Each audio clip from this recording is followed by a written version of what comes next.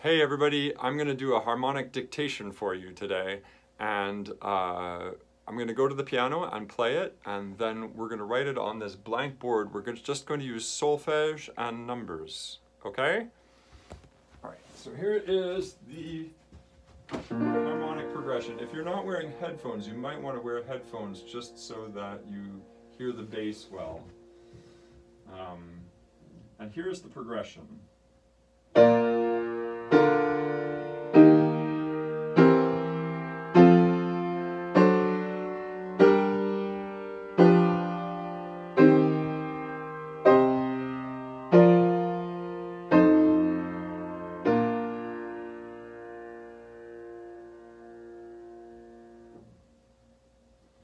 You can go back and listen to that as many times as you like.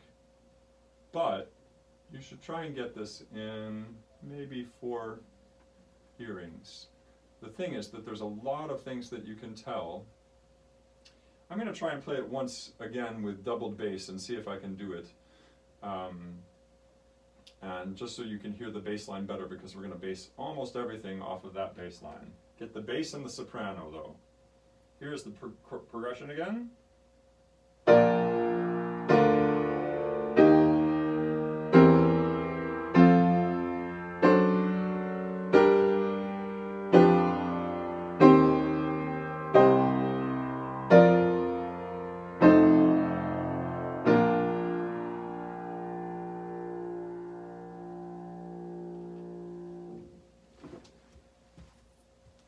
And you can listen to that as many times as you like.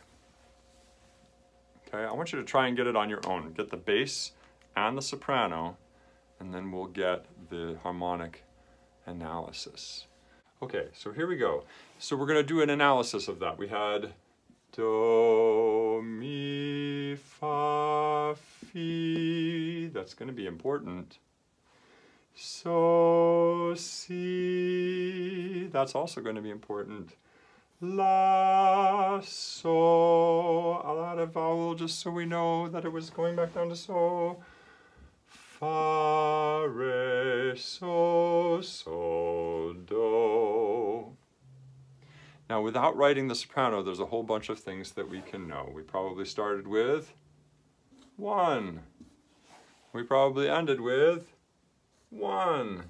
And in fact, this SSD so, so, do, usually comes in two flavors. It's either, uh, it's usually either a five, often progressing to a five, seven, and then cadencing to one, or sometimes it's a cadential formula of, of a cadential six, four, followed by a five chord, maybe with a seven and a one.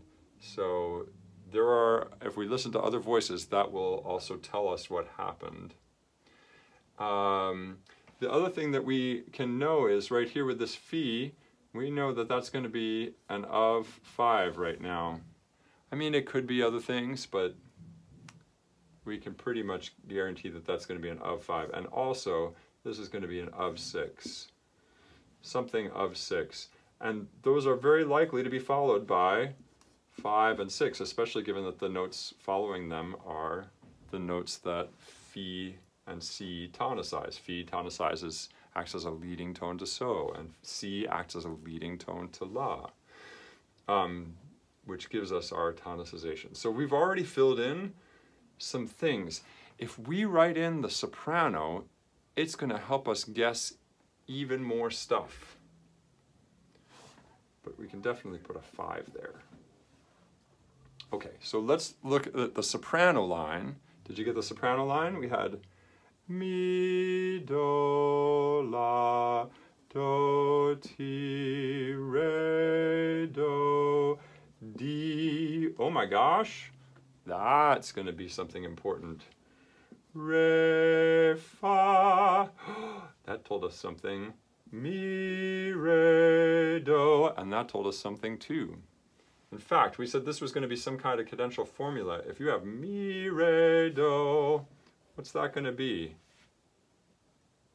A cadential 6-4, yeah, that's going to be a 5-6-4 going to 5-3.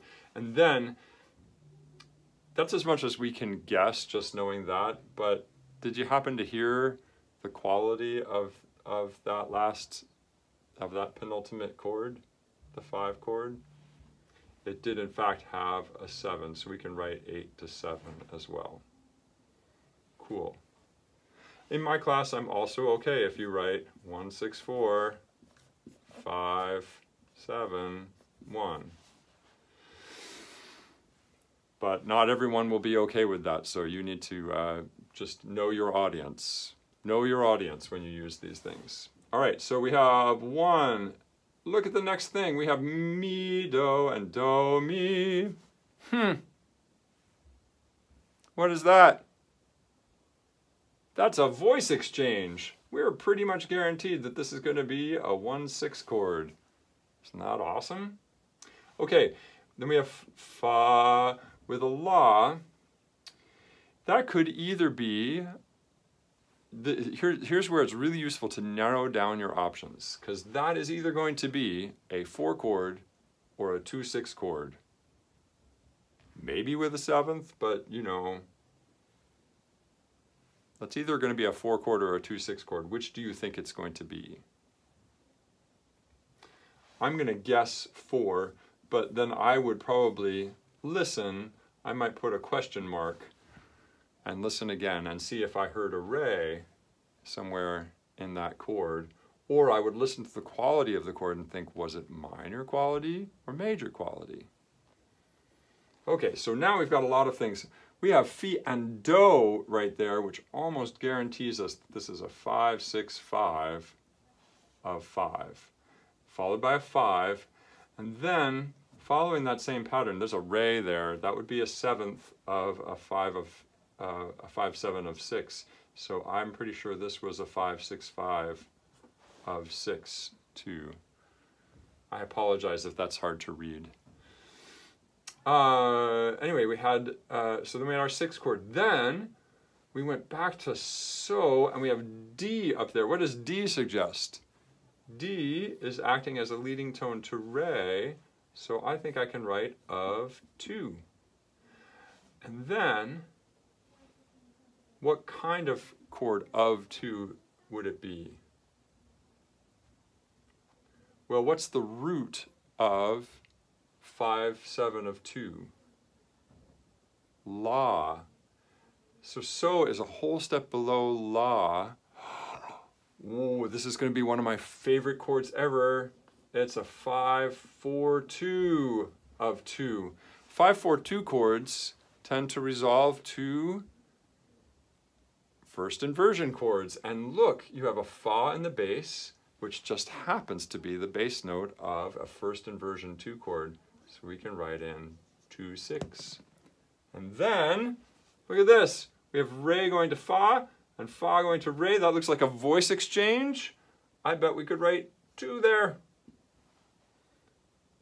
And look, with just a little bit of analysis, thinking, guesswork, looking at what things are likely to be, we've pretty much got the whole analysis. So get the bass line and the soprano, and that will tell you all kinds of wonderful things. Uh, you can go back and listen and see whether this was a four or a two, but I can tell you it was a four. um, and that is the whole analysis. So I hope that was helpful, and uh, See you next time.